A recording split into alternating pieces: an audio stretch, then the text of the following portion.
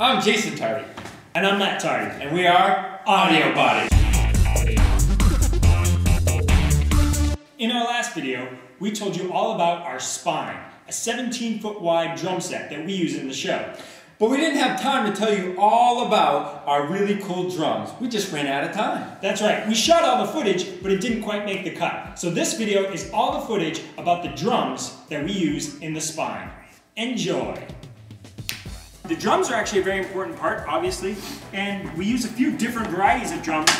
The very first drum, the very first drum that we used was this, and this is actually a dingbat, right? Made by Pintech, and um, Pintech is a really awesome drum company that is so cool to us. So Yes. thank you, Pintech. And um, these are a really interesting drum. We liked them because they look cool, and um, when you whack them, they make noise just like any electronic drum.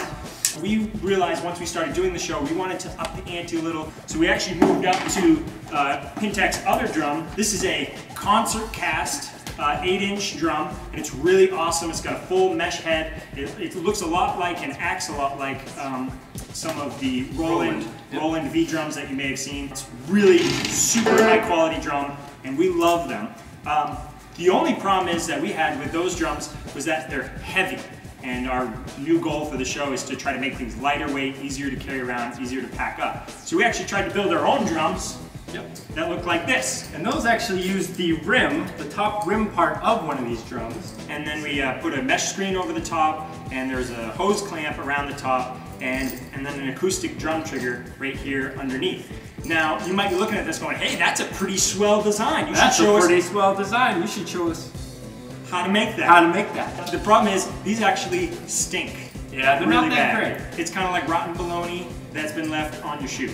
Oh, they're just really We temperamental. rip, we rip through the screens, the Yeah. triggers fall off. I mean, it's a homemade kind of not so great system. That's One right. of the cool things we do want to mention real quick though is our new drums we're going to be making, and they're not really called drums anymore. They're more of a switch. right. And this is something we're going to talk about in a later video, but just a sneak peek. This is what we call a V switch. And it's basically a bungee cord, some aluminum, and over here on the side, there, it isn't set up now, but there's an, a switch here. So two copper plates that actually Right. connect when you hit it.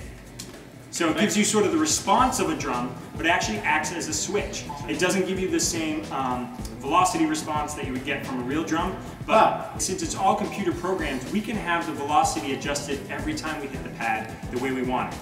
Might sound a little confusing to you right now, but some of you know what I'm talking about. You're like, yeah, that's pretty cool. okay. That's right.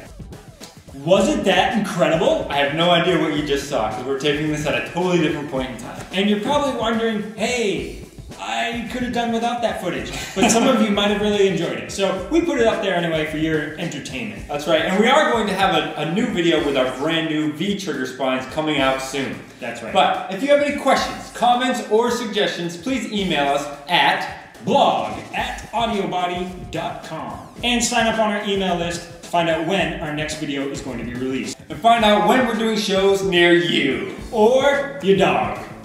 Why don't we do a show near their dog? If they're, what if we did a show to dog kennel? Yeah, but their dog is going to be somewhere near them. Maybe not. What if your dog was at a hospital? Anyway, check out weareaudiobody.com for tons of cool, fun, and useless information. Hi, I'm Jason Tardy. And I'm Matt Tardy. Wait, no, I'm Jason Tardy. You're Matt Tardy.